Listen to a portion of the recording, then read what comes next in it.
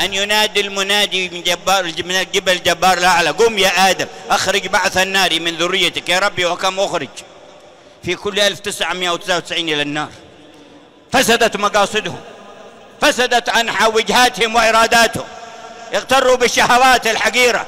قلت لهم عندي ما ما لا يخطر على بالكم ما صدقوا.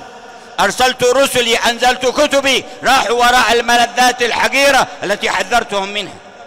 وقلت لهم سيروها بمنهاجي في مرضاتي أجعلها لذات معجلة أعطيكم الأخرى الكبرى التي لا حد لها.